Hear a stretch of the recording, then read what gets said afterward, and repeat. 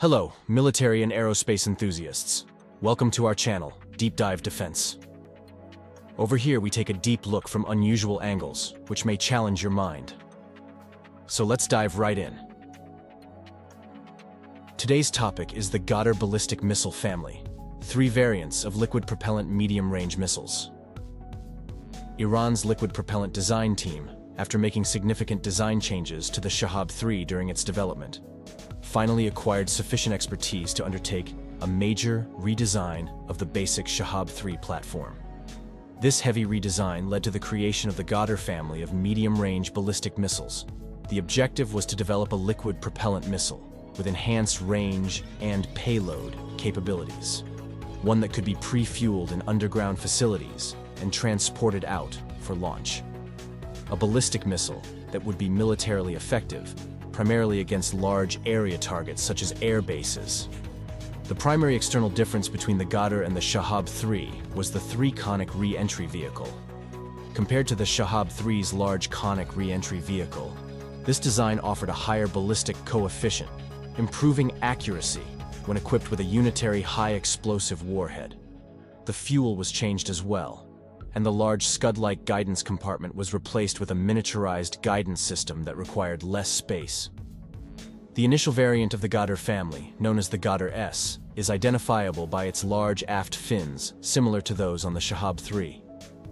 For the Ghadr S, the oxidant remained unchanged, but the fuel was switched to UDMH, extending the missile's range to 1,350 kilometers. Believed to have entered service around 2004, this variant featured a Iranian-produced motor and a miniaturized guidance system using dynamically tuned gyroscopes, which reduced weight and space compared to the previous generation of Iranian guidance systems used in the Shahab 3 and Shahab 2. With all critical subsystems being Iranian-made, the Ghadr S became the first Iranian ballistic missile to be produced in large volumes, comparable to the production levels of the Shahab 2. It also marked the first liquid propellant Iranian missile to not require cooperation with the Democratic People's Republic of Korea. The Ghadr S incorporated all advanced features of the Shahab 3, including the separable re-entry vehicle and the retro rocket system for thrust termination and velocity trim. The circular probability of error, CEP, or accuracy is estimated between 400 to 300 meters. This accuracy is yet militarily significant as the primary warheads for the Ghadr family are submunition warheads. While unitary high-explosive warheads also exist, submunition warheads are much more practical given the missile's accuracy. The Ghadr family has a unique feature in this context. At the time of its development, Israel, the primary adversary for which the missile was designed, had already developed the Arrow 2 ballistic missile defense system and had US Patriot systems in place. The strategy to counter these systems was to target large area objects such as air bases, Israel's most critical military assets, by striking them with sub-munition warheads released in outer space where neither the Arrow 2 nor the Patriot is effective. Despite the up to 400 meter CEP, releasing sub-munitions at high altitudes would result in very large dispersion. This means the 300 to 400 meter CEP would increase to kilometers for exo-atmospheric submunition release. However, this level dispersion is still sufficient to target large air bases.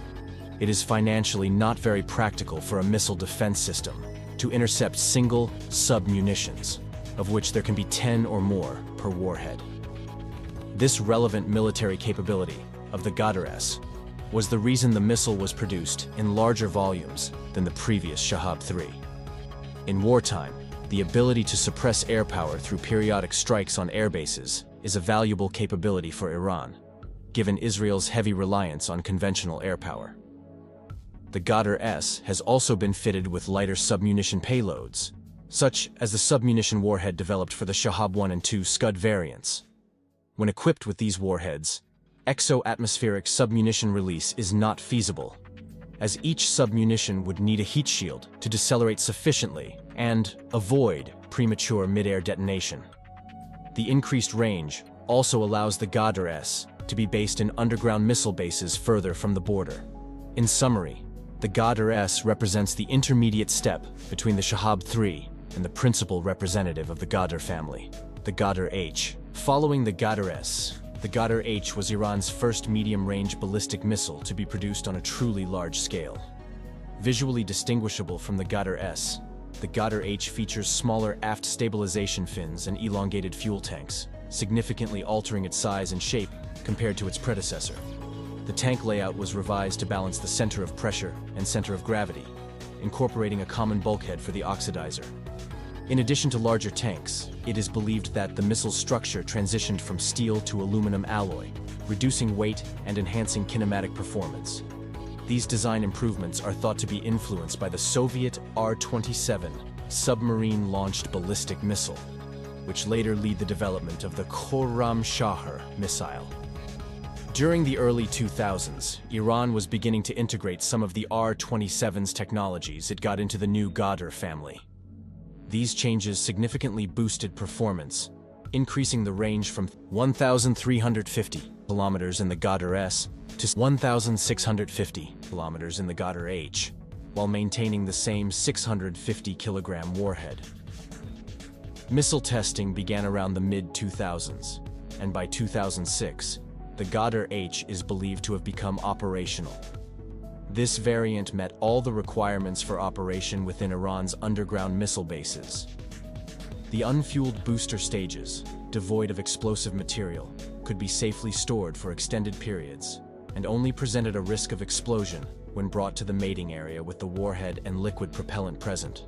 The road mobility of pre-fueled missiles allowed for quicker operations compared to the Shahab 3 the increased range enabled to construct underground bases deep within the Iranian heartland, making it difficult for adversaries to reach them with conventional air power. The Ghadr H saw its first combat use in 2024 during Operation True Promise when Iran launched retaliatory strikes against Israel. Approximately 20 years after its initial service entry, a notable amount of Ghadr H missiles were launched against Israel and its missile defense systems, which was warned in prior, allowing preparations to defend against strikes. The submunition warheads of the Ghadr H could be seen released from a very high altitude, distinguishable by larger and smaller glowing objects descending at different speeds. The larger, faster descending objects are the large exo-atmospheric submunitions, while the smaller glowing objects are likely flares designed to create thermal signatures to confuse sensors and missile interceptors. The Ghadr H likely also generated false radar returns, creating a chaff cloud that increased the chances to break through for other ballistic missiles with unitary warheads. This confusion might explain why empty spent boosters of the Ghadr H were also targeted by Israeli missile defenses in some cases, confirmed via footage erroneously wasting costly missile interceptors on those harmless spent boosters. Since its service entry, the Ghadr H has undergone some upgrades. These upgrades include two variants of maneuverable re-entry vehicles, MARVs, deriving technology from the Qiam-2 and Emad missiles. One variant is less advanced, suitable for lower re-entry velocities at shorter ranges around 1,300 kilometers, while the more advanced variant is also used on the latest Emad versions. This high-end variant may also possess evasive capabilities in addition to precision targeting, which is the basic function of such MARVs. Notably, the Ghadr has been observed in use by Ansarullah in Yemen, giving them a potential reach to hit Tel Aviv if it's the lastest variant, the Ghadr F. To enable the construction and equipping of missile bases deep within Iran, the Ghadr F was developed as the final main variant of the Ghadr family. This variant extended the missile's range from 1,650 kilometers in the Ghadr H to 1,950 kilometers in the Ghadr F. A significant redesign of the missile's motor was undertaken, changing the oxidizer from IRFNA to N2O4. This step allowed Iran to master the fuel mixture of the Soviet R-27 submarine-launched ballistic missile, serving as an intermediate technology step toward developing the later Khorramshahr missile. This higher energy propellant mixture has an operational limitation, as it's only usable in low temperature conditions, not much above 20 degrees C. However, this was not an obstacle for Iran's operation mode, which intended to use the missiles just outside heavily hardened underground, rather cool, missile complexes. The mobile launchers of the system would not need to spread far from the home base, but would simply exit the underground tunnels, launch, and return. The Ghadr F's fuel tank design is believed to have been further improved over that of the Ghadr H, optimizing space usage to increase the fuel load. The Ghadr F remains a rather secretive missile for Iran, seldom displayed. It represents an intermediate step from the Ghadr to Emad, allowing for a smooth transition of products and production lines. In summary, the Ghadr variants are highly practical missile for Iran's underground missile bases and their operation modes. Subsequent upgrades to portions of the arsenal with maneuverable re-entry vehicles now enable effective military use with unitary high-explosive warheads, while the remainder of the arsenal retains submunition payloads for exo-atmospheric release to suppress airbase operations of regional adversaries. The high survivability of Iran's underground missile bases underscores the value of the extensive production investment in this ballistic missile for Iran's IRGC aerospace forces. So that's all for today. If you enjoyed this video and like our work, please consider liking, commenting, and subscribing. We will try our best to answer your comments. Your support would be greatly appreciated and motivates to produce more content in the future. Thank you, and have a great day.